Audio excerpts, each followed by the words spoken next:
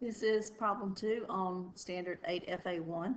We're going to understand that a function is a rule that assigns to each input exactly one output. So it asks us here, select all relations that represent a function. If it is a function for each input, remember it's like having a little factory. You put in your input, you get out your output. Whatever your input in is, you only get one output out.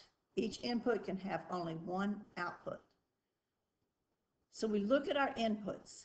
We see if our inputs repeat. Here we have a negative 7, a 3, a negative 6, a negative 1, and a negative 7. Okay, the negative 7 is repeating.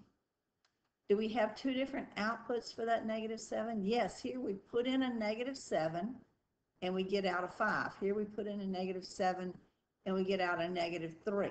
This one's not a function, not a function.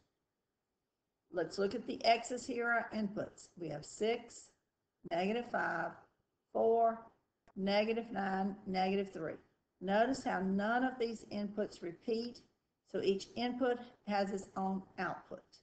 This one is a function. Okay, look at this one. We've got negative 2, 0, negative 4, 9, and 7. These inputs do not repeat. Therefore, this is a function. Let's look at our inputs. 9, negative 8, 0, negative 5, 2. None of these inputs repeat, so this is indeed a function.